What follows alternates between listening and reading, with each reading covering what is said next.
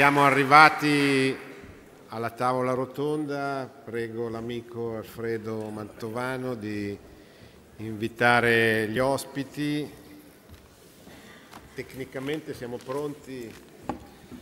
Allora, buonasera a tutti. Io vorrei pregare gli ospiti della tavola rotonda di prendere posto a questo tavolo. Il eh, professor Francesco Belletti, presidente del Forum delle Associazioni Familiari, l'avvocato Giancarlo Cerrelli del Comitato Sia la Famiglia, Raffaella Frullone delle Sentinelle in Piedi, Filippo, Filippo Savarese, portavoce della Manif Fortu Italia. E ultime solo in elenco, siamo molto contenti che siano qui e le ringraziamo per essere venute dalla Croazia, Miriana Andic e Celica Marcic, perdoneranno la pronuncia incerta.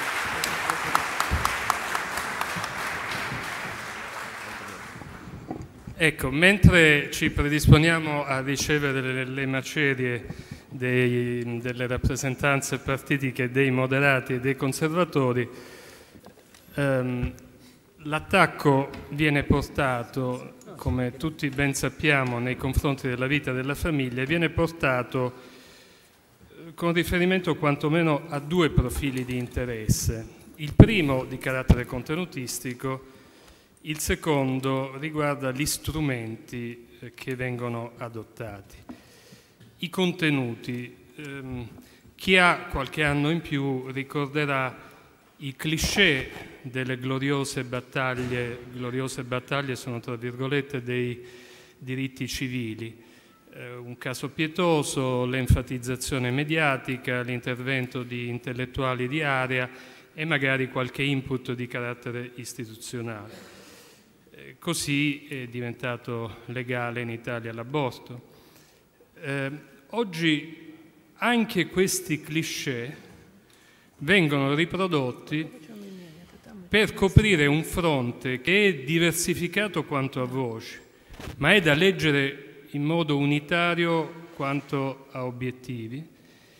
Eh, contestualmente, nelle ultime settimane abbiamo assistito alla partenza di una durissima campagna contro gli obiettori di coscienza all'aborto, con un movimento sincronico tra una decisione del Comitato dei diritti sociali del Consiglio d'Europa, un caso pietoso, quello della eh, donna costretta ad abortire da sola in un bagno dell'ospedale Pertini, salvo poi, guardando il caso concreto, ad accorgersi che era accaduto quattro anni prima, che non c'era stata nessuna denuncia, che l'ospedale Pertini ha smentito tutto, e interventi di, anche in questo caso di intellettuali. Eh, il fine vita, chi si era illuso che ci si acquietasse dall'altra parte sulle già eh, consistenti acquisizioni della giurisprudenza costituzionale, della Cassazione, oltre che del merito, ha eh, avuto invece una sgradita sorpresa nell'ascoltare qualche giorno fa il monito, cioè le persone normali parlano, il capo dello Stato eh, rilascia un monito del capo dello Stato, seguito in tempo reale dal, da un editoriale che andava nella stessa direzione sul principale quotidiano italiano. E ehm, la questione gender unioni civili su cui ci si è soffermati maggiormente finora e sarà oggetto anche di larga parte di questa tavola rotonda, che vanno considerati contestualmente perché è sempre più evidente che la funzione della legge sull'omofobia, ce lo siamo detti tante volte, non è quello di tutelare le persone omosessuali da offese che ricevono sul piano fisico, morale, eh, sul piano della libertà di movimento in quanto omosessuali, ma è quella di blindare eh, una futura eventuale legge sulle unioni civili o eh, qualcosa che assomigli, magari anche non chiamandolo così, alla legge sul matrimonio tra persone dello stesso sesso, sicché chiunque avanzi riserve su questo fronte va incontro non alla riprovazione mediatica, che eh, è nell'ordine delle cose, ma alla riprovazione giudiziaria che è un po' più ficcante e dolorosa. L'altro profilo è quello degli strumenti, si potrebbe dire non solo DDL Scalfarotto, eh, la, l'attenzione deve essere portata su un fronte molto più articolato, c'è l'Europa in tutte le sue articolazioni, quindi non soltanto le istituzioni dell'Unione Europea ma anche quelle del Consiglio d'Europa, come ha rivelato da ultimo il caso degli obiettori di coscienza, c'è eh, in Italia non soltanto il profilo legislativo ma anche quello dell'azione di governo, mentre noi eh, e il Parlamento discute del DDL Scalfarotto e del DDL sulle unioni civili, eh, la prassi introdotta dalle direttive Fornero è pienamente operativa. Si riscontra eh, nelle scuole fin dal, dalle elementari grazie ai testi dell'Istituto Beg e all'iniziativa di, di, tanti altri, come quello di tradurre eh, le favole per bambini in un linguaggio genericamente corretto. E c'è il profilo delle regioni che, che, viene chiamato in causa soprattutto per le pratiche abortive, anche quelle occulte. È importante avere questa dimensione complessiva dell'attacco, altrimenti si hanno delle, così, delle prospettive riduttive. questo è ciò che accade nel campo avverso. E nel campo dei buoni, un anno fa in giro per l'Italia non c'era molto e in giro per l'Europa c'era poco di più. Soprattutto vi era una sorta di tendenza alla rassegnazione, considerare in modo fatalistico e ineluttabile questa marea montante. Poi si è colta la portata dell'attacco e si è manifestata la reazione, sia nelle piazze, sentiremo chi sono e come operano le sentinelle in piedi, chi sono e come operano la Manif pour Tout in Italia, attraverso convegni come quello di oggi, che non è il primo e non sarà neanche l'ultimo. Ora, oltre la reazione, va, eviden- va messo in evidenza ancora di più il tratto positivo del lavoro che si sta svolgendo e che intendiamo intensificare. Come è emerso eh, prima, nelle relazioni di questa mattina e anche negli interventi del pomeriggio, noi non siamo contro, noi siamo per. Siamo per la famiglia, siamo per una sana antropologia, siamo per il rispetto integrale della natura dell'uomo e riteniamo che questo essere per debba accomunare tutte le realtà che si muovono con generosità su questo fronte. Quelle che si sono svolte finora sono iniziative distinte di formazione culturale, di informazione, di mobilitazione, hanno avuto e stanno avendo, com, come giusto che sia, le forme più varie. Lo scopo di quest'ultima sessione del convegno è mettere in chiaro che è dura, è impegnativa, è faticosa, ma si può fare e quindi con l'aiuto di Dio si deve fare. E un esempio concreto che è dura, è impegnativa, è faticosa, ma si può fare, lo dà una nazione vicina a noi, non soltanto geograficamente, ma anche per comunità di fede, di tradizioni, di, di lingua in certe epoche della storia, ed è la nazione croata. Alla fine del 2013 in questa nazione, l'ultima ad aver fatto ingresso nell'Unione Europea, si tiene un referendum volto a introdurre nella Costituzione la definizione di famiglia come fondata sul matrimonio tra un uomo e una donna. E ciò è avvenuto nonostante i tentativi del governo croato di ostacolare il referendum, nonostante una dura, forte presa di posizione contraria del Presidente della Repubblica croata. Mm, posso assicurare ai nostri amiche croate che in Italia queste cose non succedono mai e eh, nonostante le forti restrizioni che la legislazione croata prevede alla raccolta di firme per il referendum. Appena 15 giorni per raccogliere le firme è un equivalente rispetto tra, facendo le proporzioni, come se da noi fossero state necessarie 11 milioni di firme per il quesito referendario in 15 giorni. Ecco, nonostante tutto questo, le firme sono state raccolte e il sì ha vinto col 66% dei voti. Ecco, questa sera noi abbiamo il piacere e l'onore di avere tra di noi due qualificate esponenti del comitato promotore, perdoneranno ancora una volta la pronuncia, Celica Markic e Miriana Andic. La prima è stata giornalista inviata di diverse emittenti televisive in Croazia e all'estero, attualmente dirige un'azienda del settore medico, da sempre impegnata nell'associazionismo cattolico, è stata la prima responsabile del comitato organizzativo del referendum.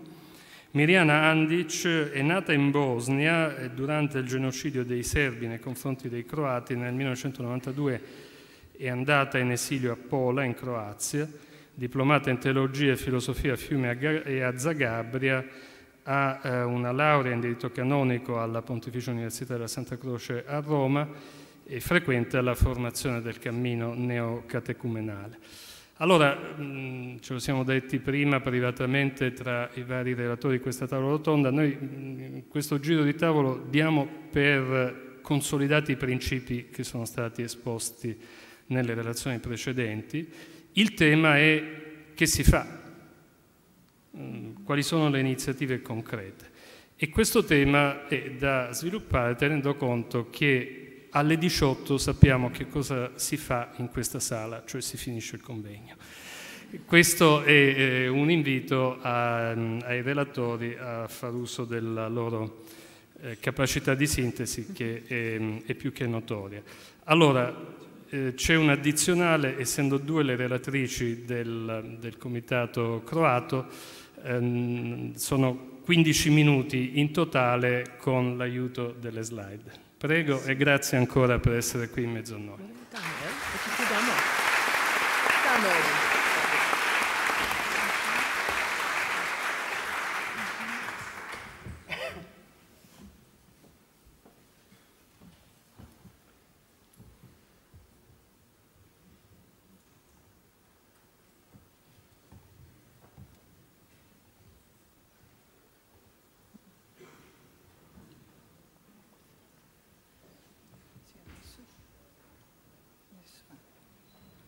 Prima di cominciare eh, vorrei ringraziare per l'invito e vorrei salutarvi tutti buonasera dalla Croazia. E la nostra iniziativa? Grazie.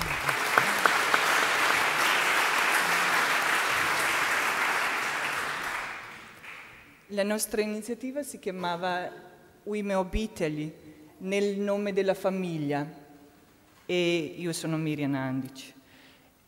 E il contesto sociale in quale abbiamo iniziato questo, questo grande progetto, non sapendo come riuscirà, eh, era prima introduzione nelle scuole elementari e medie l'educazione sessuale impregnata con ideologia di genere, perché in Croazia il 97% eh, delle scuole sono pubbliche, quindi sono pochissime scuole cattoliche però i genitori erano contrari, grazie a Dio poi eh, hanno denunciato alla Corte Costituzionale e la Corte Costituzionale ha deciso che il progetto del Ministero per l'Educazione era eh, contracostituzionale.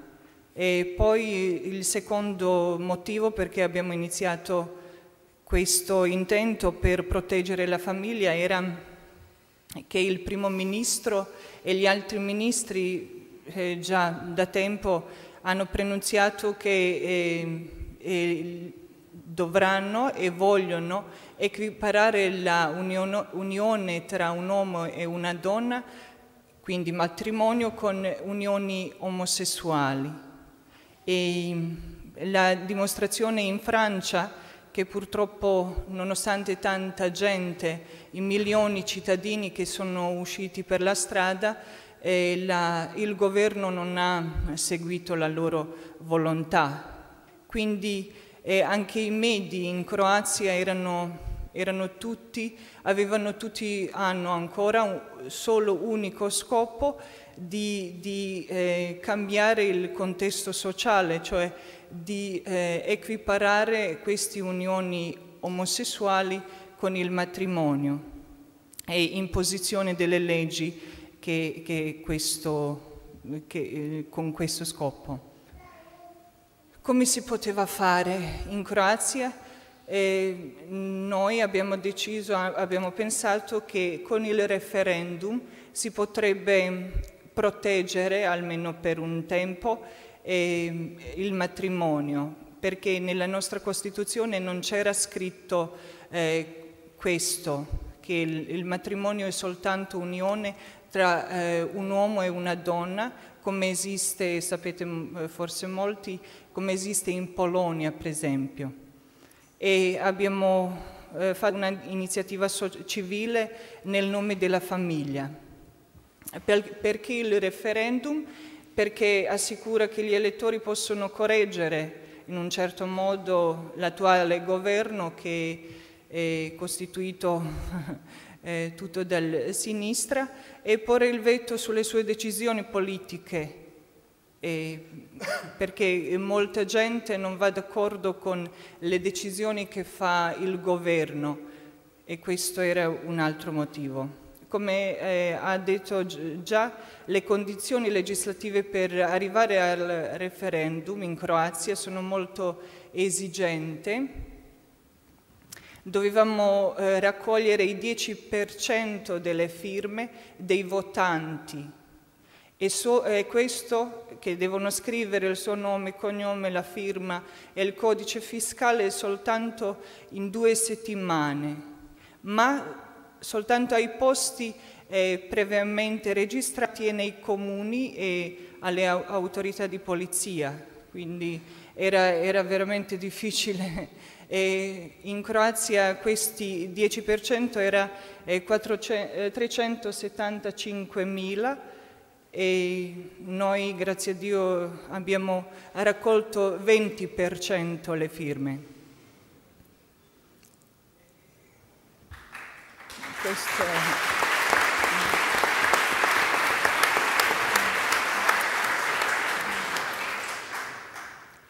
L'iniziativa ha coinvolto tutte le associazioni, non solo cattoliche, tutte associazioni non governative, eh, familiari, diverse associazioni professionali, associazioni dei veterani di guerra, e poi le famiglie, molti singoli cittadini. Anche abbiamo coinvolto eh, altre religioni, eh, religioni, in Croazia, musulmani per esempio, eh, abbiamo contattato conferenza episcopale croata, poi gli ortodossi, comunità ebraica e altre comunità cristiane in Croazia. Poi eh, certamente senza le preghiere delle eh, degli istituti eh, della vita religiosa e i monasteri contemplativi non si riuscirebbe a fare tanto e anche i movimenti ecclesiastici hanno, sono stati coinvolti. Altri, altri, interventi dell'iniziativa, eh, tutti i partiti politici sono stati contattati e soltanto 20 partiti politici hanno sostenuto l'iniziativa, altri non hanno risposto eh, nulla o sono stati contrari. E abbiamo fatto una richiesta al Presidente della Repubblica di stimolare i cittadini per, perché eh, eh, abbiamo, eh, abbiamo, detto e si sa, sappia che ehm, il, il referendum è, è, un grande modo di dimostrare la democrazia di opinione tutti, però eh, il Presidente nostro ha rifiutato di incoraggiare, incoraggiare i cittadini. Come, si è fatto, eh, come si, eh, si, siamo eh, stati organizzati? Prima era il eh, Comitato Organizzativo Nazionale, dove il Presidente della, del comitato era è ancora Gelka e altri, altra gente, diverse professioni, eh, altri eh, giuristi, eh, le persone eh, normali cittadini direi, e loro hanno comunicato con le associazioni, con le comunità religiose, con i partiti, con i cittadini e poi è stato comitato organizzativo regionale. In Croazia sono 21 regioni eh, e io sono stata responsabile per la città capitale Zagabria e per gli eh, cittadini croati che vivono all'estero. Così è una, pano panorama di quello dal gennaio, da quando si è fatto direi, il nome, questo comitato organizzativo, e marzo si è costituito, poi dal marzo fino a giugno, quando eh, eh, abbiamo consegnato tutte le firme al Parlamento. Durante delle raccolte delle firme questo bisogna eh, sottolineare, c'erano tanti, eh, tanti, eh, tante iniziative anche eh, dei studenti, gli studenti erano molto attivi nelle università croate, hanno organizzato nelle diverse facoltà eh, dibattiti sul referendum, eh, anche sull'importanza del matrimonio nella società croata. E questi, questo slogan, il matrimonio è la donna più l'uomo, tutto il resto è qualcosa di diverso. In ogni posto eh, della, eh, dove si raccoglievano le firme eh, c'era scritto questo. Più di 6.000 dei volontari sono, e in maggioranza giovani, sono stati coinvolti in questa grande iniziativa. Quasi tutti, eh, questi 6.000, eh, ma ci sono molti di più. Più di 2.000 posti per la raccolta delle firme e più di 50 denunce alla polizia per la violenza e attacchi contro i volontari. C'erano tanti attacchi, tante violenze e grazie a Dio questo è un altro miracolo che è successo in Croazia. Nessuno di questi volontari ha, eh, si è opposto alle violenze. Abbiamo denunciato e basta. Loro erano educati da, da noi di non opporsi, soltanto di denunciare fare le foto. Per esempio venivano con il coltello anche, quelli contrari, e loro hanno fatto le foto, eh, scusate, nient'altro, e le denunce, questo era anche... Ma era eh, anche pericoloso stare per la strada per tutti i volontari, ma tutto è finito senza grandi ferite. e abbiamo raccolto più di 750 eh, firme dei cittadini e le firme eh, abbiamo consegnato al Presidente del Parlamento croato 14 giugno eh, 2013 e alcune foto eh, della processione direi bella anche che eh, veramente è stata una, una, festa della democrazia in Croazia. Queste colombe eh, sono state liberate davanti al Parlamento, come una Egelka si vede qua. E adesso Egelka continua, continua con eh, raccontare cosa è successo dopo.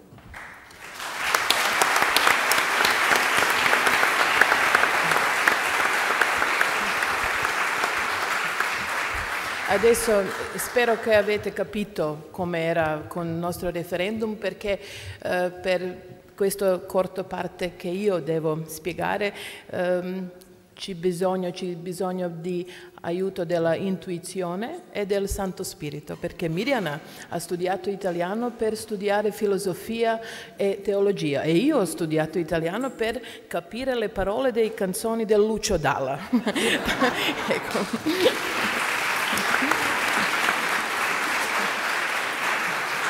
Ecco, in corto, noi volevamo fare qualche cosa in Croazia e questa è, unico, è una, una, ragione perché abbiamo vinto, perché volevamo eh, fare qualche cosa proattivo, non solamente tutto il tempo stare in difesa.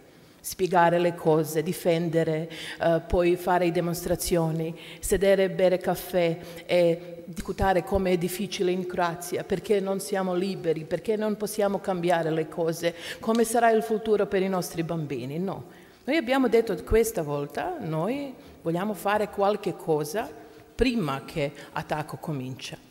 E noi abbiamo fatto qualche cosa. Seconda cosa che era per noi molto importante, che c'è tantissima gente che pensa in stesso modo come noi e loro non fa, fanno i calcoli. Per loro non era importante solamente vincere, era importante fare qualche cosa, fare qualche cosa per sé, per i suoi famiglie e i suoi bambini. Noi abbiamo solamente fatto una strada legale abbiamo spiegato come si può vincere, come si può fare qualche cosa. E loro hanno risposto. Un milione delle persone in Croazia ha votato sì, nella una situazione molto difficile. Perché? Perché volevano contribuire alla sua società. E loro hanno fatto tutto questo. Sì. Adesso una cosa molto importante era comunicazione verso l'esterno. Noi abbiamo organizzato degli eventi, conferenze stampa ogni settimana, dichiarazioni, abbiamo eh, preparazioni per le esposizioni, preparazioni dei materiali dei video, abbiamo creato una pagina web perché eh, una gran parte del media era contro il referendum e questa pagina web e Facebook eh, sono stati molto importanti per comunicare i nostri messaggi a tutta la gente in Croazia. Abbiamo creato un newsletter e abbiamo eh, usato tutti i canali eh, personali per continuare a comunicare solo un messaggio, che il matrimonio è fra una donna e un uomo, solo un messaggio. Non abbiamo parlato sull'aborto, sul, uh, sul divorzio, sulla crisi economica, sulla musica, no, solo matrimonio. Se tu pensi come noi, che matrimonio è fra una donna e un uomo, sei benvenuto. Abbiamo fatto una foto del millennio nel Zara, dove questa foto era fatta dalle famiglie dei giovani con i bambini. Questa foto aveva tanto successo. E nei numeri avevamo in gennaio 74.000 likes nella nostra pagina, abbiamo fatto 250 um, ospite dichiarazioni sulla radio e televisione. E tutto, tutto, questo che abbiamo fatto sulla televisione e radio non era in un'atmosfera molto um, aggradabile, dovevamo combattere. Mm? Bene, contrari al referendum erano tutto il governo, non c'è un ministro nel governo croato che non ha spiegato che va a votare contro, tutti, tutti. Il Presidente della Repubblica, una gran parte delle associazioni, non, non, so se si capisce qui, queste sono associazioni non governative, però pagate dal governo e controllate dal governo. Sì. Um, tutti i mass media, inclusa uh, TV pubblica, e noi abbiamo fatto noi abbiamo trovato che il 75% delle trasmissioni e articoli erano contrari al referendum. 75%. Questo si chiama propaganda. Eh? 75%, 15% neutrali e solo 10% sono stati pro. Questo vuol dire che un mese prima del referendum, nel mondo virtuale della TV e del radio, non c'era possibile sentire gli argomenti per referendum. Un mese. Questo è eh, il ministro per gli affari esteri e la signora, estimata signora ha detto, nonostante quello che voi pensate, dovete votare contro. Questo, questo non, non, non, è la democrazia che, per cui noi abbiamo combattuto in Croazia. Bene. E nel fine primo di dicembre la domanda referendaria era siete d'accordo che nella Costituzione della Repubblica della Croazia verrà inserita una disposizione che definisce il matrimonio come la comunione di vita tra una donna e un uomo. Il risultato era che 66%, quasi un milione favorevoli e 34% contrari. E in, il matrimonio è inserito nella Costituzione della Repubblica di Croazia il mismo, il, il questo giorno. Mhm. Affluenza. Mhm.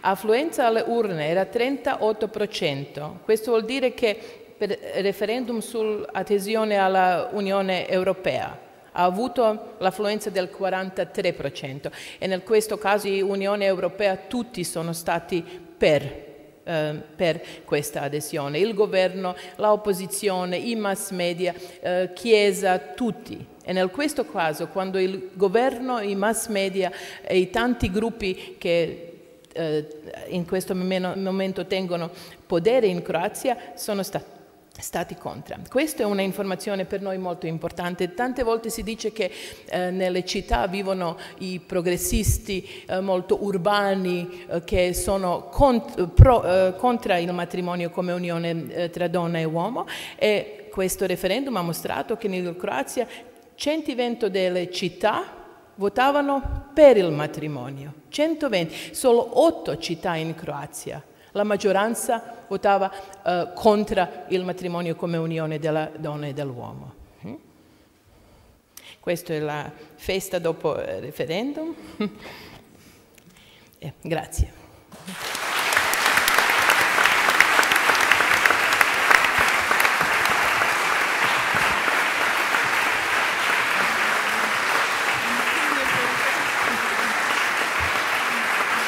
Grazie.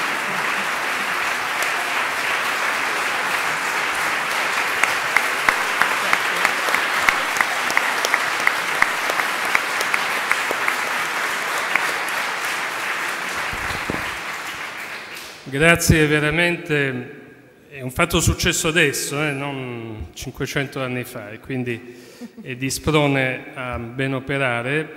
Eh, non è presente con noi, a differenza dei programmi originari, il portavoce della Manif pour tout eh, di, di Francia, sapete benissimo cos'è e quindi non sto a illustrare come è nata, come è sorta, ma eh, ci ha mandato un messaggio registrato che adesso sarà mh, trasmesso nella migliore tradizione della filmografia francese con i sottotitoli.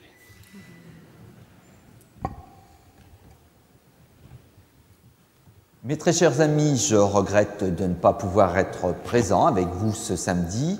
Je suis actuellement retenu à Paris au Salon du Livre où je présente mon ouvrage homosexuel contre le mariage pour tous et dont j'ai l'immense plaisir de vous annoncer qu'il va bientôt être traduit en Italie grâce aux efforts de Maxime Nogier, de Jacopo Coghe et de Luca Volonté, qu'ils soient ici tous les trois chaleureusement remerciés. Le thème de votre congrès porte sur la théorie du genre. À la Manif pour tous, en France, au terme de théorie du genre, nous préférons celle d'idéologie, car ce sont bel et bien des idéologues qui souhaitent ardemment mettre cela en place. Depuis le début de mon engagement, je n'ai eu cesse de répéter que je suis homosexuel et pas gay. Si je précise de nouveau cela à l'occasion de votre congrès, c'est que cette distinction n'est en rien une subtilité linguistique de ma part, elle revêt une réalité qui est la cause de ce qui s'est passé hier aux États-Unis, ce qui se passe aujourd'hui en Italie et en France, et ce qui se passera demain dans toute l'Europe contre la famille, contre l'enfant. Le lobby gay est déterminé à détruire, et peu importe les moyens, les institutions du mariage de la famille, Les gouvernements, que cela soit en France ou en Europe, à force de vouloir faire des lois et des concessions pour le lobby gay, font de l'apartheid, non seulement vis-à-vis des autres citoyens, mais plus encore vis-à-vis des homosexuels eux-mêmes.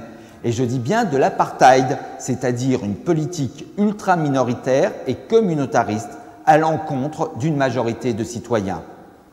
Pour faire croire qu'un homme avec un homme ou une femme avec une femme pouvait avoir un enfant, on nous impose l'idéologie du genre. On nous dit mensonge lorsqu'on l'évoque.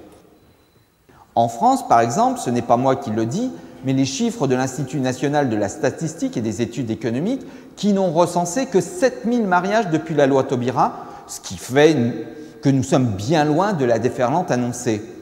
Le lobby gay, partout dans le monde et maintenant en Europe, veut nous faire croire le contraire. Dans ce dessin, les États la communauté européenne met à leur disposition des moyens financiers considérables.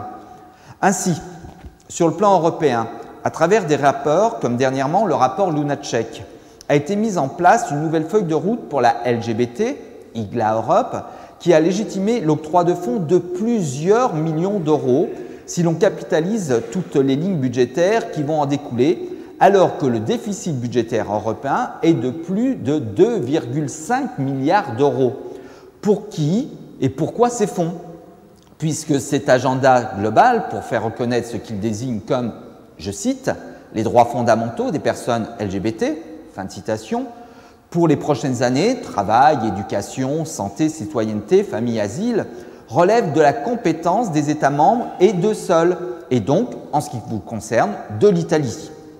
En Europe, tout comme en Italie, cela montre en réalité que le lobby LGBT considère le Parlement européen comme votre Parlement comme un lieu stratégique pour faire avancer ses causes et obtenir des modifications du droit européen et français. Mes chers très amis, vous le savez bien, l'orientation sexuelle d'un individu ne l'empêche pas d'être homme ou femme. Cette vision réductrice ne prend pas en compte toute la richesse des personnes au-delà des comportements ou des rôles. Plusieurs études de genre ont été faites. Elles sont intéressantes pour explorer l'évolution des rapports entre les sexes, la place respective des hommes et des femmes dans l'organisation sociale, professionnelle et politique, pour repérer les causes d'inégalités injustes et élaborer des propositions pour les faire disparaître. Les études de genre peuvent être aussi l'occasion de valoriser l'apport spécifique de l'un et l'autre sexe, mais ces études ont en fait dérivé le plus souvent vers d'autres objectifs. Il s'agit maintenant, en effet, de former les jeunes enfants dès les classes du primaire à une égalité indifférenciée. Ainsi, plus qu'un mot, le concept de genre est l'instrument d'une révolution anthropologique et culturelle de nos sociétés postmodernes en quête d'identité et d'égalité. Société où la raison et la liberté ne s'appuient pas sur la réalité des êtres et des choses, mais sur les désirs et les fantasmes. Société où l'individu, représenté par des lobbies ultra-minoritaires, mais terriblement efficaces, exige du pouvoir démocratique la reconnaissance de ses revendications qu'il prétend être de nouveaux droits en imposant de nouvelles normes. Finalement, le concept de genre, dans sa forme, dans sa forme subversive, est le révélateur d'une société qui ne sait plus qui elle est et qui refuse le réel comme limite à ses désirs. À ceux qui jugeraient mes propos trop alarmistes, je me permets de vous soumettre le récent avis rendu par la Commission nationale consultative des droits de l'homme en France sur cette question. En réponse à une saisine conjointe de la ministre de la Justice et de la ministre des Droits des Femmes, la Commission a rendu le 27 juin 2013 son avis concernant la définition et la place de l'identité du genre dans le droit français et les conditions du changement de sexe à l'état civil pour les personnes transidentitaires. En voici le contenu. Je cite Consciente de la situation extrêmement précaire et des discriminations notoires dont font l'objet des personnes transidentitaires, la CNCDH s'inquiète tout d'abord de la grande vulnérabilité sociale de cette catégorie de la population trop souvent stigmatisée. Je poursuis. Afin de remédier à cette situation hautement discriminatoire et de redonner aux personnes trans leur dignité, la CNCDH estime nécessaire une refonte de la législation française concernant l'identité de genre, comme le préconisent les institutions internationales européennes. La CNCDH, qui ne se prononce pas ici sur le plan anthropologique, mais au nom de la lutte contre toutes les formes de discrimination, demande la rectification des termes identité sexuelle présents dans la loi, jugeant qu'ils entraînent confusion entre genre et détermination sexuelle et biologique. Elle propose de les remplacer par les termes d'identité de genre. La CNCDH rappelle que s'affirmer homme ou femme n'est pas une question de choix ni de volonté, et ne relève pas d'une décision arbitraire, conjoncturelle ou fantasmatique. Cette affirmation est au contraire liée à une conviction profonde, souvent ressentie depuis l'enfance, ne relevant pas d'une identification passagère, mais bien de l'identité même du sujet. Comment un groupe si minoritaire peut ainsi décréter, avec une facilité déconcertante, la soumission d'une société millénaire à un véritable changement de civilisation Comment peut-on demander à la majorité des Français de courber les chines et de changer de modèle de société alors que nous n'avons pas encore réussi à régler tous les problèmes qui se posent à nos sociétés traditionnelles? Quel est donc l'intérêt de créer de nouveaux problèmes et de nouveaux heurts en propageant et en imposant par la force cette théorie du genre? Enfin, pour conclure, je voudrais dire que nous, homosexuels, nous en avons assez de nous faire voler notre voix.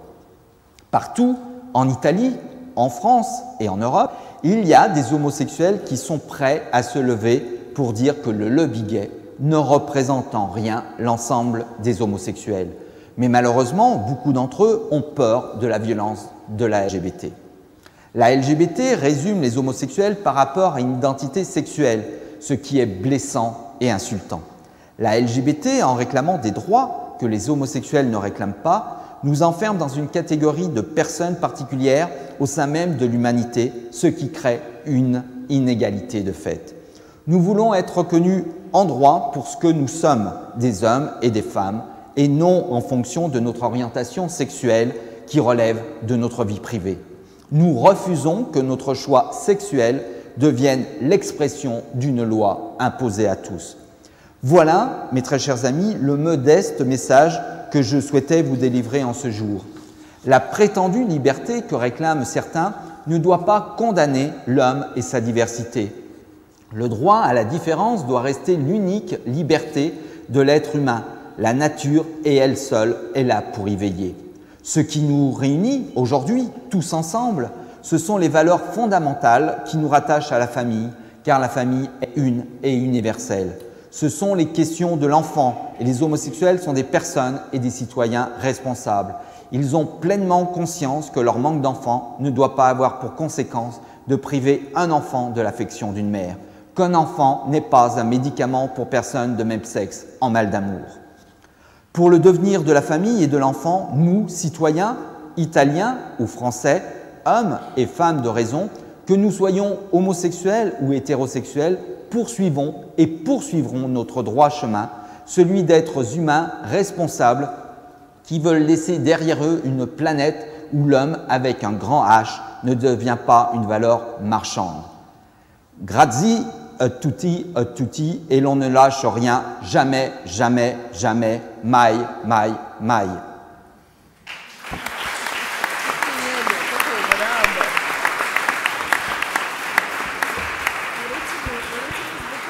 Allora, torniamo in Italia e in Italia da ormai un bel po' di tempo ha preso le mosse il comitato sia la famiglia, come ricordava stamattina Massimo, e un comitato a cui aderiscono le associazioni, ciascuna delle quali mantiene la propria autonomia e la propria identità, e ha obiettivi eh, connessi e coerenti con la materia. Uno degli esponenti di questo comitato è l'avvocato Giancarlo Sciarelli, che tutti noi conosciamo, molto amico e molto apprezzato da parte della lobby LGBT e, e anche dai dai riferimenti di questa lobby in alcuni mass media, a cominciare dalla RAI.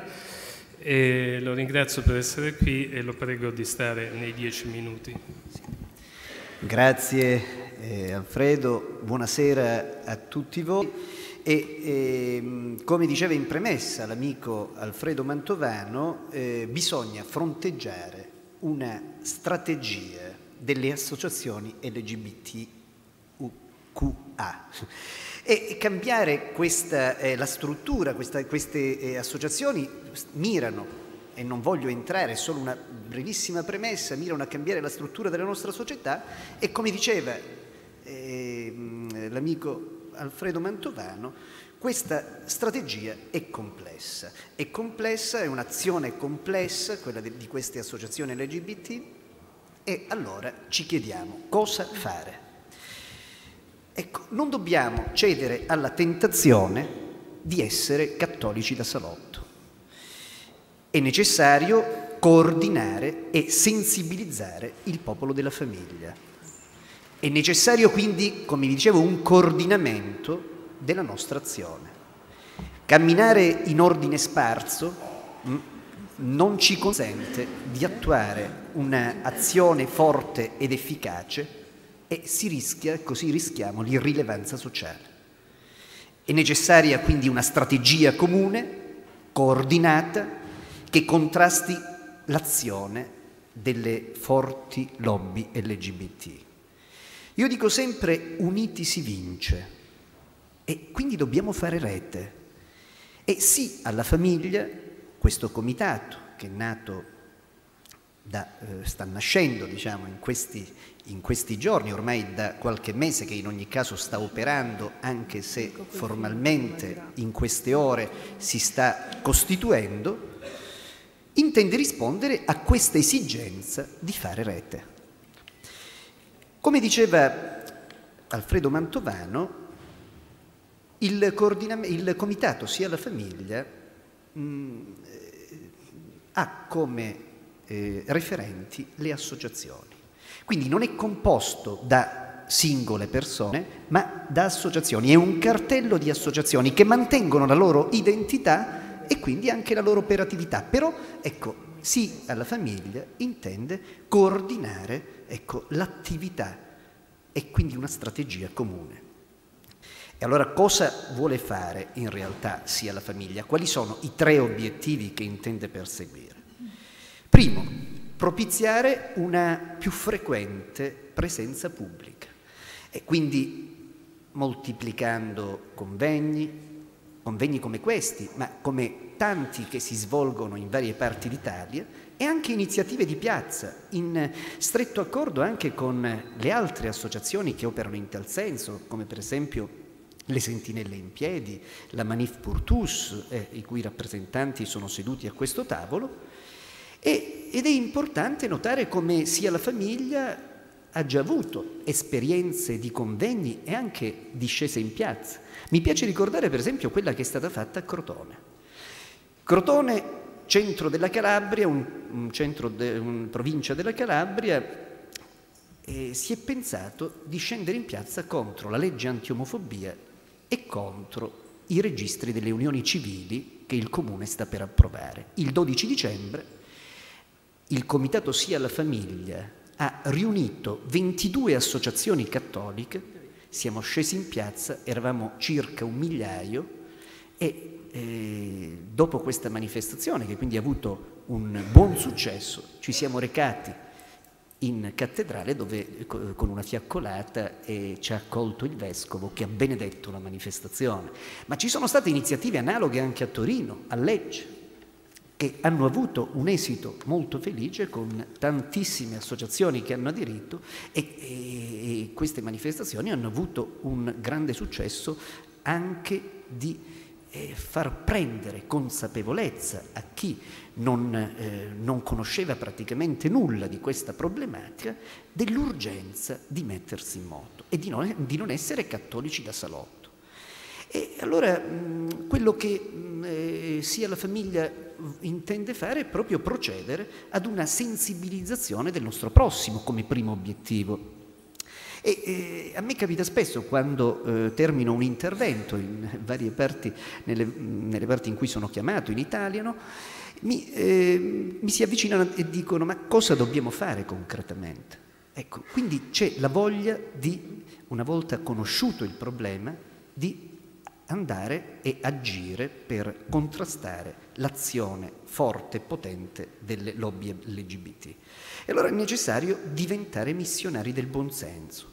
E mh, non si ferma qui però, l'azione del comitato sia la famiglia, ha un altro eh, eh, obiettivo che riteniamo molto importante. Abbiamo creato, stiamo creando una rete di giuristi una rete di giuristi in tutta Italia che concretamente mh, porti assistenza anche solo in termini di consulenza, quindi soltanto in via residuale, eh, procedendo con delle azioni legali vere e proprie, a favore dei dirigenti scolastici, a favore di docenti, a favore dei genitori, a favore degli studenti che vivono quelle condizioni di disagio a fronte della imposizione nelle scuole di questa ideologia del gender. E quindi eh, questa, per contrastare e dare consigli, quindi consulenza a chi ce la chiede, ed essere pronti no, e, e, non lasciare sole le persone che si sentono a volte smarrite, quante telefonate ricevo, ricevono anche i miei amici e dicono ma cosa dobbiamo fare in questa situazione? Ecco, questa rete di giuristi intende rispondere a queste esigenze. Ma non solo, questa rete di giuristi intende anche fornire eventuale consulenza ai parlamentari, perché eh, ad esempio eh, parlamentari che eh, vogliono collaborare con sia la famiglia possono fruire della consulenza anche giuridica. Ad esempio commento a qualche sentenza no? uscita eh, diciamo di recente, oppure essere aggiornati sulla legislazione, sulla giurisprudenza europea ma anche italiana che a volte per eh, il tanto da fare a volte può sfuggire a qualche parlamentare.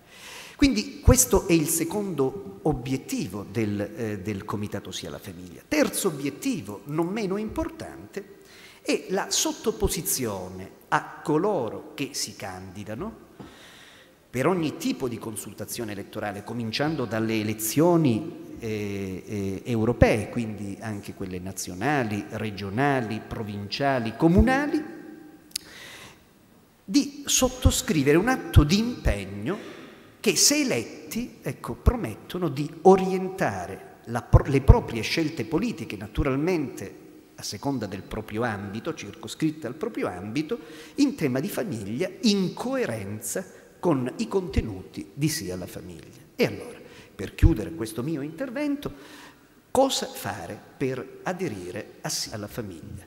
Ecco, cosa fare fattivamente? Allora, innanzitutto prendere contatto e leggere il manifesto di cui ha tracciato qualche, eh, qualcosa il eh, dottor Alfredo Mantovano, potete andare sul sito www.siallafamiglia.it. Lì troverete il manifesto e anche le modalità per costituire un, nuovo, un comitato nella vostra città.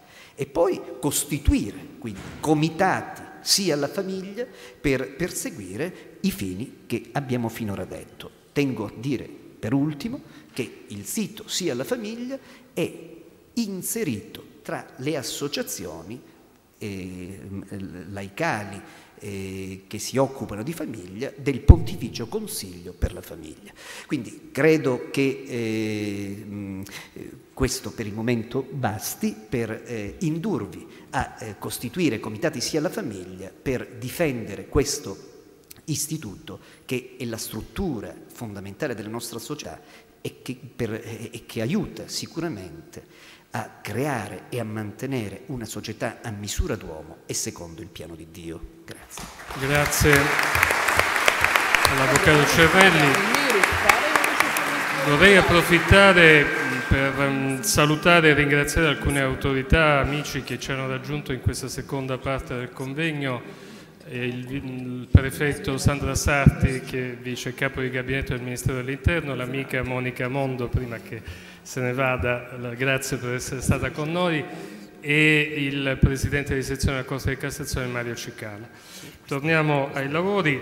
Il Forum delle Associazioni Familiari svolge da decenni un'opera preziosa, un'opera che punta a dare un costante aggiornamento sullo stato delle tematiche familiari non soltanto sul territorio nazionale ma anche nell'ambito delle, delle, regioni e che prom promuove un confronto con i parlamentari nazionali, i parlamentari europei, i consigli e le giunte regionali. Eh, abbiamo il piacere e l'onore di avere tra noi il Presidente nazionale del forum e lo ringraziamo non solo per essere qui tra noi ma per l'opera preziosa che il forum svolge e soprattutto per il tratto costantemente propositivo del suo lavoro. Eh, non sempre queste proposte poi vengono accolte ma il fatto che siano presentate in modo dettagliato, in modo ragionato, così come meriterebbe di essere fatta qualsiasi proposta, quindi indicando per esempio se ci sono impegni di spesa anche eventuali eh, ipotesi di copertura, sottolinea la serietà eh, del, del, forum stesso e la sua insostituibilità eh, per l'Italia in questo momento. Grazie a lei Presidente. Grazie dell'invito. Eh,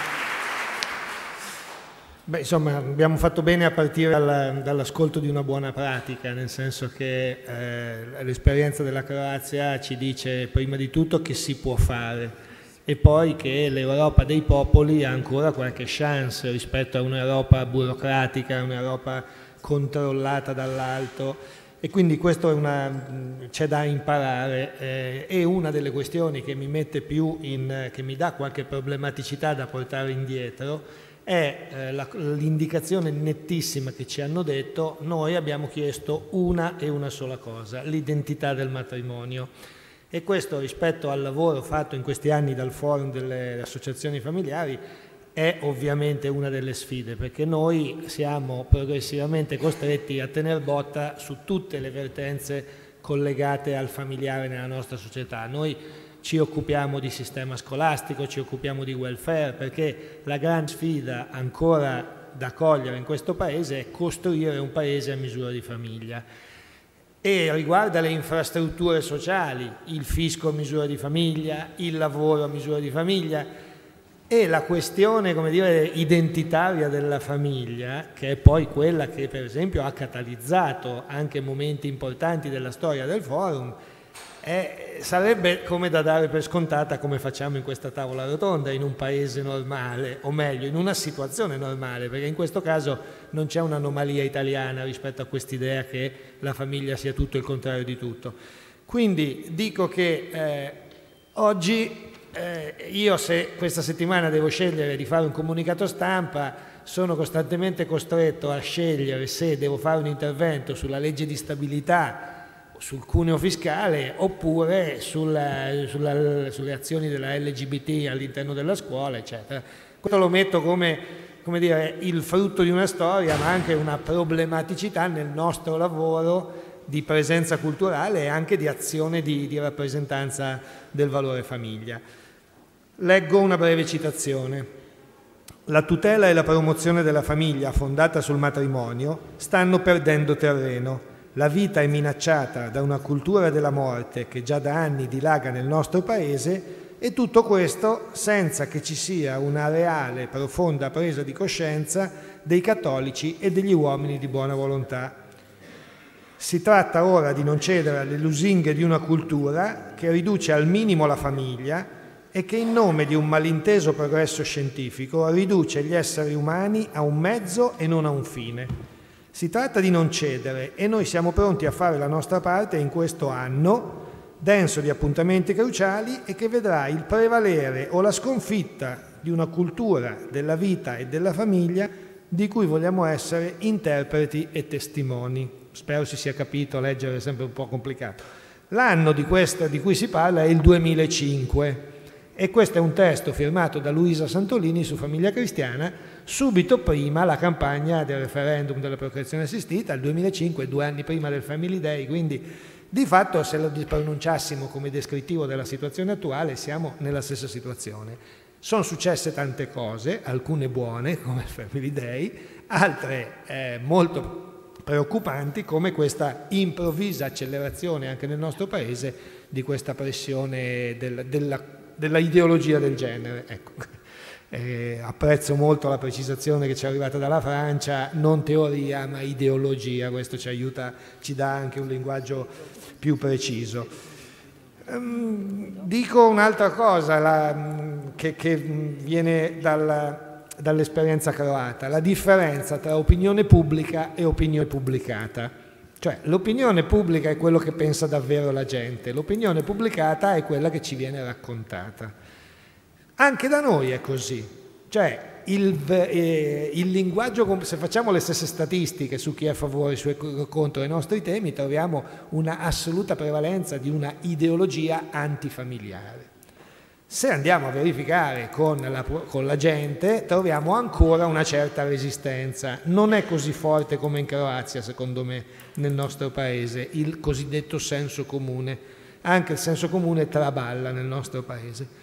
Però c'è questo problema della spirale del silenzio, cioè visto che tutti dicono che questa cultura della famiglia è una roba andata, anche chi ci crede non lo dice più, perché non solo per paura, ma proprio per sfiducia.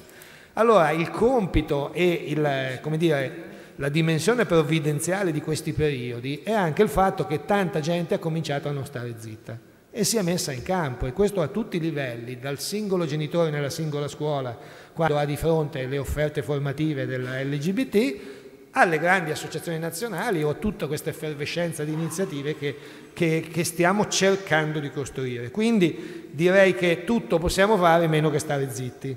Ecco. Um, un'altra cosa che Ieri abbiamo pubblicato un intervento del forum eh, sul tema specifico della scuola.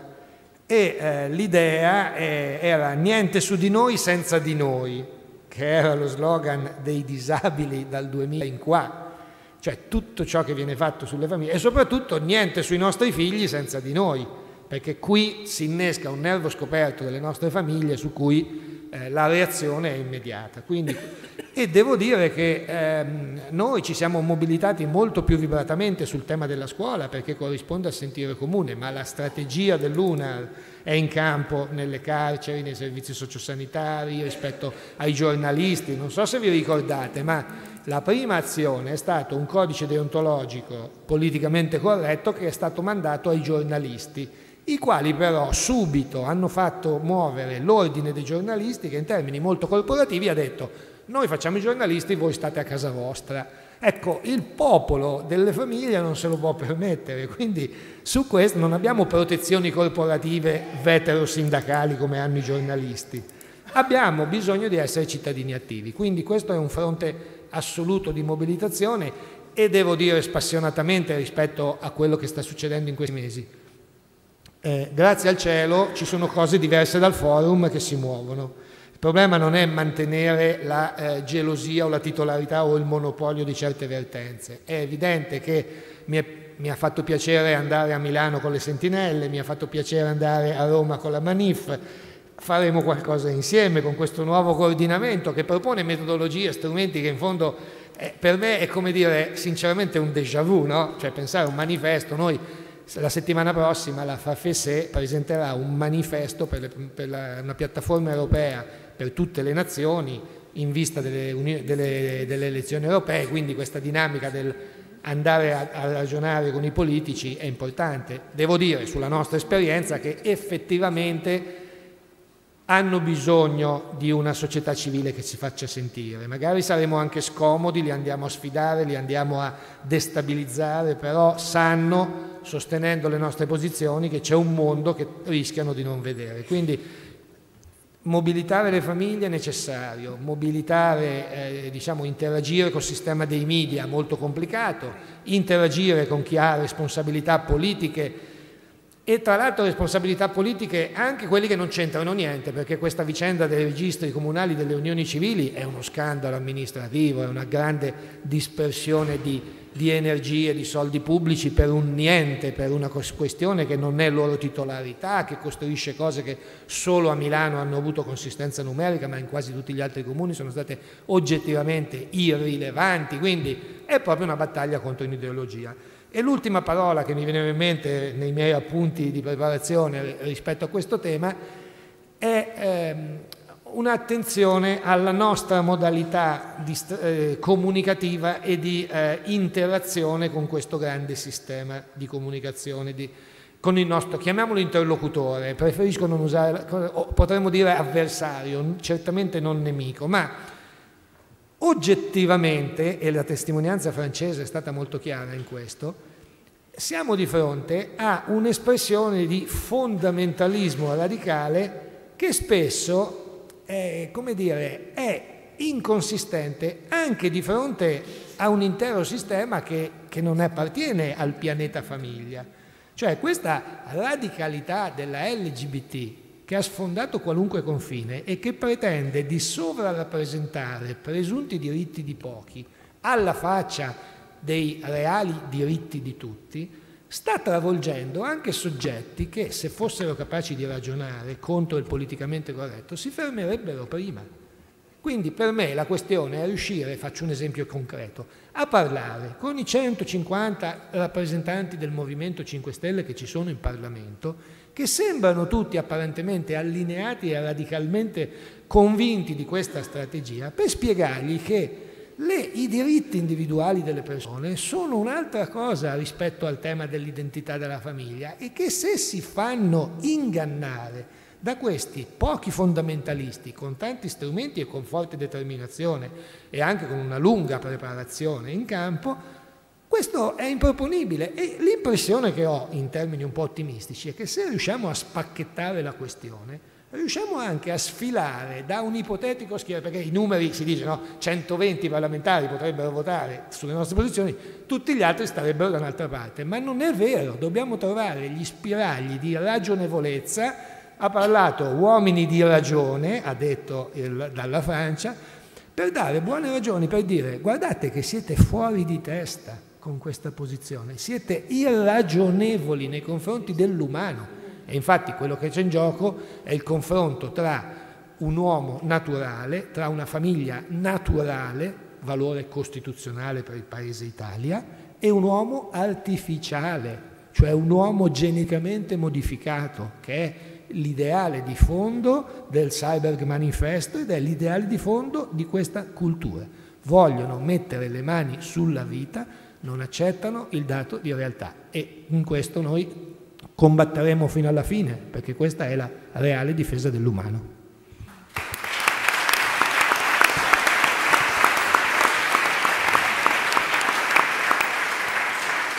Ringrazio il Presidente Belletti, do una comunicazione, mi è stato chiesto di dare, è stato trovato un anello con una spirale in nero, chi lo ha smarrito può chiederlo fuori dalla sala alle ragazze che si trovano a ricevimento. Um, allora, tra le iniziative che ci sono state in questi mesi, è stato più volte ricordato, eh, ci sono quelle, soprattutto in piazza, in luoghi pubblici, della Manif italiana e delle sentinelle in piedi. Adesso eh, prima l'uno e poi l'altra ci diranno qual è la loro esperienza, le loro modalità di, di manifestazione e siamo molto contenti che siano qui eh, io prego di prendere la parola al portavoce in Italia della Manif Portù, Filippo Savarese. Grazie, allora intanto anch'io ringrazio Alleanza Cattolica per questo invito, per questa occasione importantissima di condivisione ed evidentemente per aver fatto partecipe in modo così generoso la Manif Portus Italia. Associazione, noi diciamo, di coscienze che nasce all'inizio del 2012 quando una manciata di giovani ragazzi romani entrano in contatto e conoscono alcuni dei responsabili della manif francese e, come tutti noi penso, come tutti coloro che hanno a cuore i nostri scopi, rimangono estasiati da questo clima che la, la Manif Purtus francese ha rinnovato, soprattutto in Europa, e pensano di eh, portare, trasportare questa stessa matrice, questa peculiarità della Manif Purtus francese anche in Italia con l'aiuto soprattutto di Luca Volontè, che avete, visto, avete sentito citato prima, Jacopo Coghe, l'attuale presidente della Manif Portus Italia, inizia a cercare aiuti, a cercare collaborazioni per, per fare cosa? Non certo e non già per introdurre nel panorama italiano eh, un elemento che nel merito sicuramente già è fortemente presente e credo che questa esperienza di oggi ne sia una clamorosa testimonianza, cioè la partecipazione e la presenza sullo scenario culturale, sociale, di tante forme di associazioni, di tante esperienze che hanno a cuore la famiglia, ma soprattutto per introdurre un eh, dato, un principio che forse ogni tanto rischiamo di tenere in secondo piano, e cioè il grande valore dato dalla Manif Purtus, che, stesso, che ha scelto come stesso nome, come stesso simbolo, il fatto di essere Purtus per tutti, cioè il principio è quello che non importa che cosa tu hai edificato nella tua vita culturale, nella tua vita personale, nella tua esperienza religiosa o politica, sopra un insieme di fondamenta che ci rendono comuni in quanto uomini.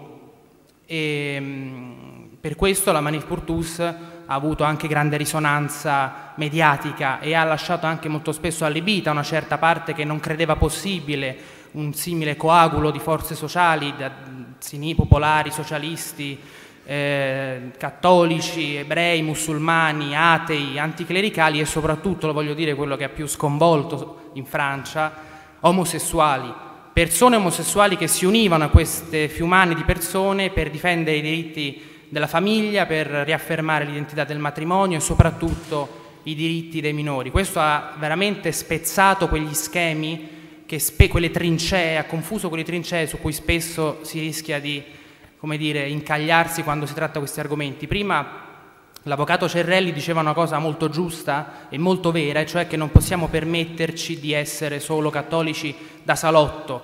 Ecco, noi siamo nati anche per dire che non possiamo assolutamente permetterci di essere solo cattolici, perché c'è tutta una grande parte di società, che lo sappiamo anche guardando la realtà diciamo così, sociale e sociologica del nostro paese, non è, non è, nel circolo delle associazioni, dei movimenti, eppure sono genitori che hanno dei figli, sono persone che credono, hanno una certa idea di consapevolezza, esperienza dell'umano e si riconoscono in questo grande patrimonio antropologico. Noi, questo diciamo, è il settore della società, i nostri destinatari. Andiamo, tra virgolette, a cercarli soprattutto sui social network, quindi Facebook, Twitter, abbiamo quasi 15.000 seguaci su amici su Facebook, ehm, abbiamo un database di mail che va sempre più aggiornandosi. Ecco, questo è il nostro scopo. Che cosa abbiamo fatto finora? Evidentemente quando abbiamo portato l'esperienza della Manif Purtus in Italia, noi ci siamo trovati, per così dire, eh, in vantaggio rispetto agli amici francesi che forse loro stessi dicono si sono svegliati un po' tardi, cioè quando la proposta di legge sui matrimoni omosessuali era praticamente già cosa fatta. Noi in Italia, eh, da questo punto di vista, siamo, abbiamo un lieve e un leggero vantaggio. Abbiamo trovato sulla nostra strada come primo eh, obiettivo evidentemente quello di informare sulla natura di questa iniziativa ideologica della legge cosiddetta anti-omofobia. Per questo d'estate, l'estate scorsa abbiamo fatto tre manifestazioni in cui abbiamo raccolto alcune centinaia di persone a Piazza di Pietra, a Piazza del Pantheon, appena nati praticamente, quindi poi d'estate perché lo sapete questa, la particolarità di questa iniziativa sull'omofobia è che viene sempre discussa dal Parlamento in momenti diciamo assolutamente anonimi o d'estate o in sedute notturne al Senato sapete che andrà in discussione il 22 luglio. Noi che pensavamo di fare una grande manifestazione prima di questa, di questa data prima che la data fosse decisa abbiamo pensato che probabilmente non sarà il caso. Dunque dopo queste manifestazioni ci siamo anche noi un po' strutturati abbiamo incominciato a capire cosa volevamo fare sempre con l'aiuto del Manif Purtus francese Abbiamo incominciato ad attivare dei circoli territoriali, oggi se ne contano quasi 40. Che cosa fanno questi circoli? Noi pensiamo che la cosa più importante da fare oggi sia informare, oltre che manifestare, informare tantissime persone che non sanno assolutamente nulla di tutto quello che sta accadendo, di tutto quello che sta accadendo molto spesso ai loro figli nelle scuole in cui li mandano. Dunque noi facciamo degli incontri che si svolgono in questo modo, ci sono tre rappresentanti, a parte un rappresentante della Manif, li facciamo nelle parrocchie, quando ci chiamano nelle sale.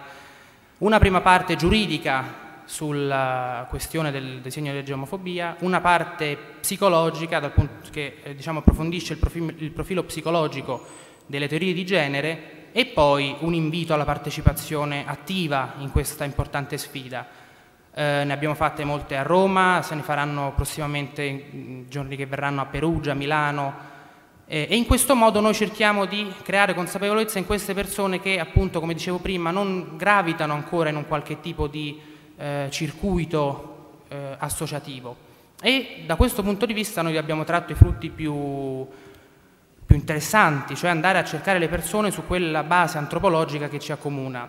Abbiamo poi sponsorizzato la presentazione di alcuni libri con cui non abbiamo evidentemente nulla a che fare dal punto di vista editoriale. Vorrei consigliarvene due, approfitto. Uno è Educare al femminile e al maschile di Scichitano Cantelmi, che appunto tratta e smonta, distrugge qualsiasi speranza di validità delle teorie di genere dal punto di vista rigorosamente scientifico. Sono uno professore, uno dottore psicologo di, di psicologia e poi, forse ne avrete sentito parlare, Voglio la mamma di Mario Adinolfi, questo, eh, questa personalità del mondo politico che ha contribuito, e noi gliene siamo grati, a anche qui incrinare quella mentalità che vuole contrapposta una parte politica all'altra, una religione all'altra o una religione e una filosofia su questi temi così importanti, perché ha scritto questo libro Voglio la mamma in cui in una serie di capitoli da, rivendica il fatto che contestare la distruzione attuale della famiglia, contestare la negazione attuale dei diritti del, dei fanciulli sia un eh, patrimonio proprio della sinistra. E poi ci stiamo specializzando anche noi nell'intervento nelle scuole, ovvero riceviamo anche noi, come eh, abbiamo sentito anche dagli altri relatori, tantissime comunicazioni di persone che ci scrivono mail inviandoci i POF, i piani dell'offerta formativa delle scuole, per sapere se per caso lì sono nascoste delle, in qualche modo delle parole che possono far pensare che la scuola stia cercando di indottrinare i loro figli. Allora con il forum delle associazioni familiari dell'Umbria e il suo presidente Simone Pillon abbiamo diffuso questo vademecum per genitori che in 12 punti eh, dà un sostegno, un aiuto per eh, chi volesse sapere praticamente che cosa fare che poi alla fine è il ruolo del genitore, quello essenziale, che è quello di muoversi, parlare con i professori, sapere di che cosa si tratta. E voglio dire soltanto un'ultima cosa, noi oggi la maggior parte di questi attacchi nei confronti della famiglia si ha anche a livello locale, non so se avete saputo recentemente la Commissione Scuola del Comune di Roma ha discusso in via preventiva una delibera che era stata proposta per eh, come dire, incentivare la collaborazione delle famiglie e delle scuole in materia di, unione, in materia di educazione sessuale, una cosa su cui non ci sarebbe neanche il bisogno di discutere perché è un principio, quello della, della libertà della scelta educativa, come abbiamo sentito, è un principio costituzionale. La delibera in via preventiva è stata, in via consultiva è stata bocciata e respinta, ma la motivazione è stata respinta perché metterebbe, oltre al fatto che è retrograda, come ha detto l'esponente grillina, metterebbe in dubbio la libertà di insegnamento dei docenti, quindi della scuola, quindi dell'amministrazione che sceglie le associazioni che educano, per così dire, i ragazzi alla sessualità, all'affettività. Ecco, noi crediamo che questa sia la vera sfida per difendere la famiglia oggi, oltre alle tante altre, quella di difendere la libertà di educazione, perché la libertà di educazione è sempre stata il tramite che ha fatto anche progredire nel corso del tempo, tra una, tra una generazione e l'altra, questi buoni valori. Se tagliamo, se si incide negativamente sulla libertà di educazione, si taglia il flusso che va da un genitore al figlio, quindi il genitore è impossibilitato almeno a depositare nella storia del figlio, nella sua esistenza, i valori antropologici di cui noi stiamo parlando. Quindi questa, secondo noi, è la vera sfida, anche per questo diciamo, contattiamo scuole, genitori eh, su queste tematiche. Grazie. Grazie. Grazie a Filippo Savarese. Oltre ai titoli che, di cui ha raccomandato la lettura, eh, sono veramente dei libri che meritano di essere tenuti sempre sotto mano e sono molto utili. Eh, raccomando di non perdere di vista anche i libri che sono nel tavolino in fondo alla sala, tra cui il recentissimo uscito da poche ore testo di, di Massimo Introvigne eh, dedicato proprio a, sia alla famiglia, a tutto il lavoro che, che, è stato fatto finora, alle basi di questo lavoro e a come continuare a svolgerlo e tra come continuare a svolgerlo una parte significativa compete certamente a Sentinella in piedi, di cui per i pochi che non conoscono ancora che cos'è e come funziona, ci verrà eh, descritta eh, le premesse e le modalità operative da Raffaella Frullone. Grazie. Grazie innanzitutto per questo invito. Eh, quello di cui vi vorrei parlare questa sera è che c'è un popolo che negli ultimi nove mesi ha preso letteralmente posto nelle piazze, si è piazzato di fronte agli occhi di tutti, di fronte agli occhi della politica, di fronte agli occhi della società, di fronte anche agli occhi dei mass media che pensavano, speravano e volevano far finta che noi non esistessimo. È un popolo mh, di cui fino a nove mesi fa, su cui nessuno avrebbe scommesso un euro, un popolo formato da persone, mamme, papà, disoccupati, professionisti, gente normalissima eh, che non era assolutamente abituata a scendere in piazza e mai avrebbe pensato di aver bisogno di farlo.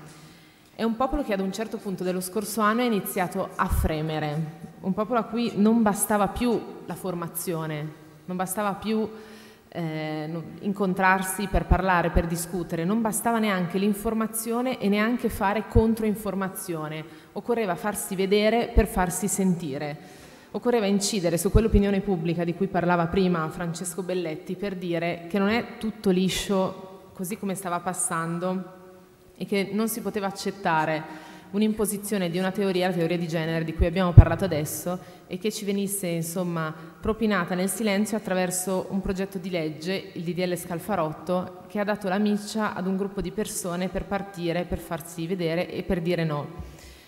Io ho partecipato alla prima micro veglia milanese lo scorso maggio, eravamo in sette, sotto una pioggia battente, il che avrebbe scoraggiato penso chiunque ma tra quelle sette persone tre hanno iniziato a mobilitarsi, a dire vabbè, se da zero eravamo in sette, forse possiamo aumentare. La prima veglia strutturata delle sentinelle in piedi è avvenuta il 5 di agosto dello scorso anno. Il 5 di agosto è stato il giorno in cui la legge Scalfarotto ha iniziato il suo percorso alla Camera eh, in una chattata notturna un gruppo di papà, strappando tempo al sonno, agli impegni familiari e al lavoro, ha deciso che non si poteva più stare nascosti e ha organizzato questa veglia non senza paura e qualche timore per il giorno successivo, pensando di essere in 10-20. Erano in 60. Quello che si è scatenato dopo è stato uno strepitoso effetto domino. Sono partite Bergamo e Milano e da quel momento in poi tantissime città, vedendo le foto in rete, conoscendo il movimento, tantissime persone hanno preso coraggio, hanno voluto organizzare veglie nelle proprie città. Oggi le sentinelle in piedi possono contare al loro attivo 46 veglie organizzate da agosto a oggi. Ci sono 60 città attive in questo momento che stanno organizzandosi per scendere in piazza. Eh, sono numeri che hanno dello straordinario perché ad ogni nostra veglia partecipano centinaia di persone. Lo scorso febbraio a Milano eravamo 1500, ci sono state veglie da 500, da 600 persone. Non sono numeri che diamo eh, come li stessimo dando alla stampa per fare vedere che abbiamo avuto dei risultati, sono numeri dietro i quali ci sono delle storie, ci sono delle persone che perdono tempo e denaro e investono energie per una causa che ci riguarda tutti quanti. Eh, non è banale pensare che in una veglia invernale a Cremona ci siano persone eh, disabili che, che stanno un an- per un'ora ferme a vegliare, che ci sono persone ultra ottantenni, mamme che portano i bambini, sono persone che investono tempo non solo nel vegliare, ma che investono tempo soprattutto nella vita per vegliare su quello che sta accadendo. Eh, noi Sentinelle in Piedi siamo una rete venuta a galla eh, in un terreno eh, insomma, che già aspettava, aspettava, soltanto il là per farsi vedere, per, fanti, per farsi sentire. Abbiamo intuito di essere di fronte ad una sfida dalla portata epocale perché va a dist- mina a distruggere quello che più intimo c'è in ogni uomo e in ogni donna. Per questo in piedi, nelle piazze italiane, a distanza di un metro l'uno dall'altro e in rigoroso silenzio, vegliamo per chiedere la libertà d'espressione e soprattutto la tutela della famiglia naturale, fondata sull'unione feconda e stabile tra un uomo ed una donna. Siamo mm, nate in, um, sullo spunto del DDL Scalfarotto, e, mm, insomma abbiamo, mm, abbiamo ritenuto che non fosse accettabile per noi rischiare il carcere soltanto per aver espresso liberamente la nostra opinione e la libertà d'espressione è stato un tasto che ci ha permesso di entrare in contatto con un mondo davvero variegato e molto diverso. Alle nostre veglie prendono parte cittadini cattolici naturalmente, cittadini musulmani, cittadini mormoni, cittadini evangelici. Questo per dire che la libertà d'espressione non conosce assolutamente colore politico, non ha appartenenza di movimento, ci riguarda e ci interpella tutti. Uno dei grandi inganni che questa legge porta avanti, e non solo questa legge, come giustamente è stato detto, ma tutte le politiche in generale targate movimenti LGBT che, dovrebbe, che si presentano come paladini e difensori delle persone omosessuali, eh, è quello di creare una contrapposizione tra omosessuali e eterosessuali. Ecco, noi diciamo no a questa contrapposizione, è una mistificazione, un errore, è un falso non è, come abbiamo sentito da Jean-Pierre Delomniard, non è l'orientamento sessuale che definisce un individuo, è la sua integrità di persona. Parlare di omosessuali come fossero una categoria da tutelare o da condannare è una cosa che non ci appartiene in alcun modo. Non tutte le persone con tendenza omosessuale, come abbiamo sentito, eh, si riconoscono nei diritti rivendicati dagli attivisti LGBT e anche quelli che ci si ritrovano per noi non sono, eh, non sono nemici, non sono neanche avversari, sono persone che a loro volta eh, dobbiamo cercare di aprire gli, gli occhi e risvegliare le coscienze. Se c'è una cosa che non avremmo mai pensato nel corso di questi mesi è proprio di incontrare, di venire eh, a contatto con tantissime, con tante persone appunto con eh, pulsioni omosessuali che sono venute a vegliare con noi con grande coraggio e anche esponendosi agli scherni degli attivisti LGBT che vengono alle nostre veglie per organizzare delle contromanifestazioni. Sono persone da cui abbiamo imparato molto perché loro stesse sono state per prime sentinelle e ci raccontano quello che succede all'interno di queste lobby. In occasione dell'incontro di oggi uno, um, un ragazzo ci ha scritto, un ragazzo che eh, ha soli 17 anni e ci scrive fino a qualche mese fa credevo di essere gay, che detestava un papà gay. È un ragazzo che vive in Italia e che è cresciuto con il papà e una serie di compagni del papà. Purtroppo non c'è il tempo in questo momento di leggere tutta la sua lettera, ma siccome l'ha scritta appositamente per questo incontro e sapendo che io oggi venivo qua, ve le voglio leggere un piccolo estratto. Lui dice: Non ho mai avuto bisogno di fiabe gay, ci sono dentro dalla nascita, ad una fiaba gay. Mio padre mi ha sempre insegnato che un genitore non è chi ti genera, ma chi ti ama. Mi ha insegnato che è falso sostenere che un bambino ha bisogno di una mamma mi ha insegnato che quello che conta è l'amore, non il sesso del genitore. E è proprio qui il punto. Il punto non è se qualsiasi persona, etero o gay, possa o meno essere un bravo genitore. Non esiste in assoluto il genitore perfetto. Certo che l'amore è importante, ma non è tutto. C'è qualcosa di più importante del nutrimento, del gioco e che viene prima anche dell'amore. Sostenere che per un bambino avere un padre o non averlo, avere una madre o non averla, significa che c'è qualcosa dietro di diverso dal bene ultimo del bambino stesso. Certo che il bambino si adatterà inconsciamente alla mancanza di una mamma o di un papà, ma costringerlo ad adattarsi a causa del desiderio di paternità o paternità di un adulto non lo chiamo amore. Per questi motivi oggi mi sento impegnato con tutti i miei limiti in una battaglia di verità al fianco di tante persone che ho conosciuto in questi mesi, la battaglia contro l'ideologia gender, contro i matrimoni gay e per la difesa del diritto di ogni bambino ad avere un papà ed una mamma. Oggi amo mio padre perché ho capito che anche lui è caduto nella trappola LGBT, che ci vorrebbe tutti identici a spese dei più deboli. Ecco, noi in questo momento siamo davanti a quello che abbiamo visto è un vero e proprio processo di dissoluzione che sta distruggendo la parte più intima di un uomo e di una donna. Cosa fare di fronte a questa situazione? Da un lato sicuramente sarebbe utile ed è utile eh, formare delle persone dei capi, dei leader che possano a loro volta invertire questa tendenza. Intanto noi come sentinelle in piedi vogliamo subito tentare di ritardare o interrompere questo processo. Vogliamo risvegliare le coscienze portando le persone in piazza, ma soprattutto esortandole a vegliare nella vita di tutti i giorni eh, nelle situazioni in cui si trovano, scuola, ordini professionali, ma anche eh, vita quotidiana, perché l'ideologia di genere che ci è stata ehm, consegnata goccia dopo goccia ci è entrata dentro e quindi riguarda qualunque persona che, eh, che potrebbe riguardare qualunque persona incontriamo. Noi in questo momento, mh, nonostante la stampa che è stata costretta a parlare di noi per le numerose veglie che abbiamo fatto in tantissime città, non siamo incasellabili in nulla, non siamo un partito, non siamo un'associazione, non siamo un movimento. Questo perché? Perché le persone che vengono con noi a vegliare hanno capito l'importanza per quell'ora della veglia di lasciarsi dietro ogni appartenenza politica, associativa, di movimento, di realtà ci sono tante persone diverse tra noi con cui è necessario in questo momento fare un tratto di strada e non solo possiamo farlo, dobbiamo farlo per il bene comune.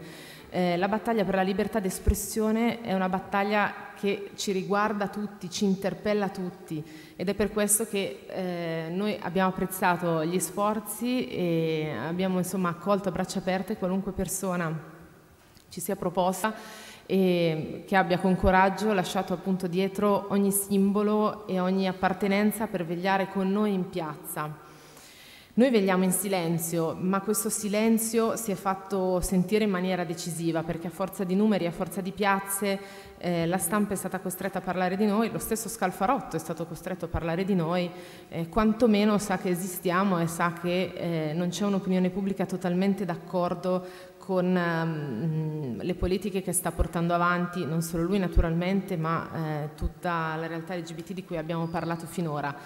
Ci sentiamo un po' come Davide contro Golia in questo momento. Noi abbiamo un libro, è un segnalibro, vediamo nelle piazze appunto con un libro in mano che è il simbolo della formazione continua di cui tutti quanti abbiamo bisogno se questo processo colpisce le tendenze, noi vogliamo andare in controtendenza. Le battaglie, come ci hanno insegnato le amiche croate, sono, si combattono per essere vinte e quindi in questo momento non ci possiamo permettere di non combattere la battaglia, perché questo vuol dire contribuire ad una sconfitta e soprattutto non ci possiamo permettere di continuare a stare nascosti e a stare nelle nostre case a parlare solo tra di noi. È il momento veramente di uscire e di andare a interpellare tutti quanti.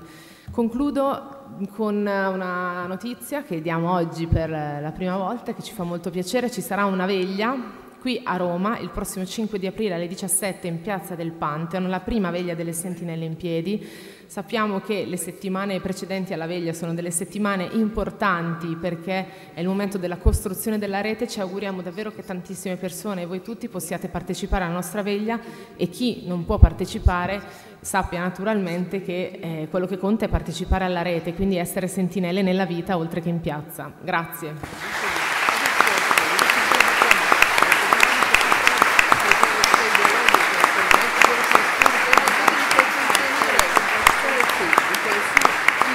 Grazie Raffaella, se vi trattenete solo un minuto eh, perché vi sarà un saluto conclusivo adesso molto breve del reggente vicario nazionale di Alleanza Cattolica Massimo Entrovigne.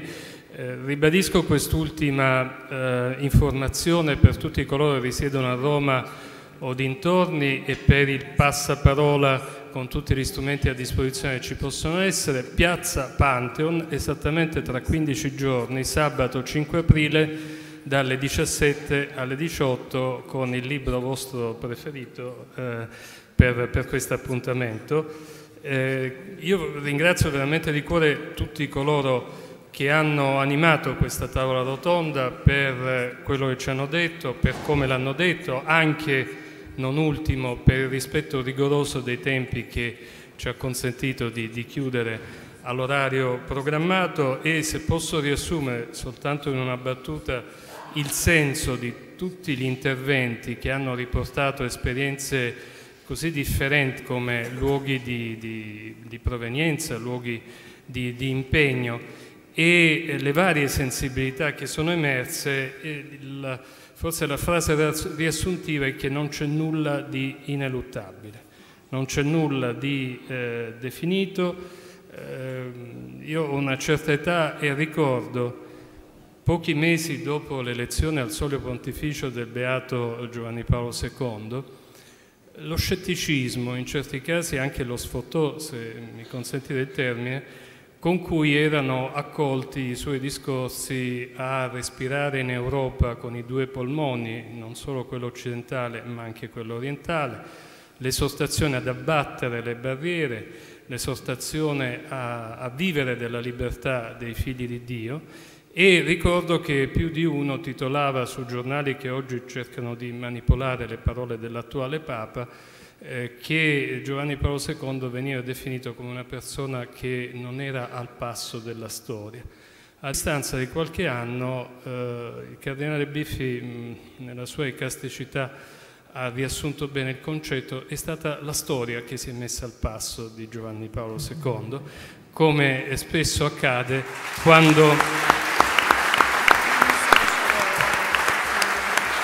quando eh, si hanno ben chiari gli obiettivi e gli strumenti per raggiungere questi obiettivi. Abbiamo iniziato con eh, un saluto eh, che certamente sarà arrivato al nostro reggente nazionale Giovanni Cantoni, concludiamo con, rivolgendogli una, un saluto molto affettuoso e ricordando proprio a proposito di eh, di quest'ultimo passaggio il, mm, il, suo insegnamento tra gli altri, tra i tanti, tra i numerosissimi, che ehm, ruota attorno al, ad un concetto espresso dal pontefice Pio XII, che invitava ad aver fede nella non definitività della storia. Ecco, Giovanni Cantoni ci ha insegnato a eh, pregare a studiare, a vivere, a operare avendo fiducia non in noi stessi, ma nella grazia di Dio che ci permette di vincere qualsiasi definitività della storia e qualsiasi cosa nella storia venga data come malignamente ineluttabile. A massimo la conclusione. Grazie a tutti.